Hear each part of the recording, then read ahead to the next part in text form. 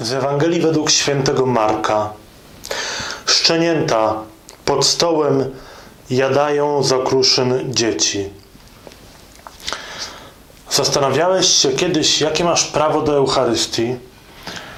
Czy naprawdę jest tak, że możesz spokojnie wejść do sali weselnej, zająć swoje miejsce przy głównym stole, jakby nigdy nic, a potem spokojnie sięgać po ten pokarm, który został zastawiony?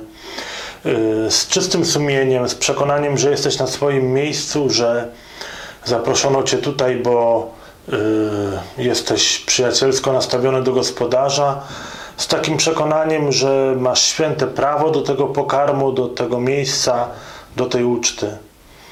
Czy rzeczywiście tak jest? Czy ta kobieta z dzisiejszej Ewangelii, która mówi o sobie i o swoim dziecku, jesteśmy jak szczenięta pod stołem.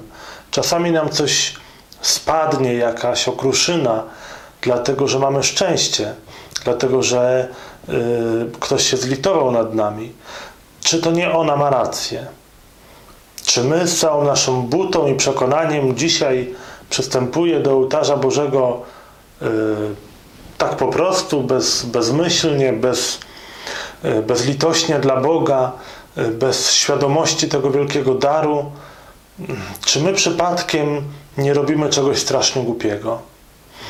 Czy to naprawdę nie jest tak, że za każdym razem, kiedy wstępujemy do sali weselnej, do kościoła i idziemy na Eucharystię, nie powinno nasze serce drżeć, drżeć y, ze wzruszenia, y, drżeć z, z radości.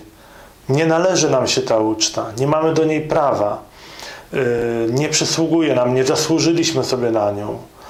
Nie możemy się naprawdę nazywać przyjaciółmi Pana Młodego, bo ciągle przeciwko Niemu szemrzemy, występujemy, ciągle Go krzywdzimy. A jednak On y, nie tylko zaprasza nas do tego, byśmy oczekiwali na okruchy ze stołu, jak szczenięta, ale sadza nas tuż przy sobie, przy głównym stole i mówi: Przygotowałem to wszystko dla Ciebie. Bierz i jedz, bierz i pij Jesteś moim honorowym gościem. Słuchajcie, to jest takie piękne, że serca muszą drżeć. Nie mamy prawa do tej uczty, ale Bóg daje nam, nam ją z miłosierdzia. Nie z litości, tylko z miłości. I możemy siedzieć przy tym stole z, wys z wysoko podniesionym czołem i dumni. Jesteśmy braćmi Pana Młodego.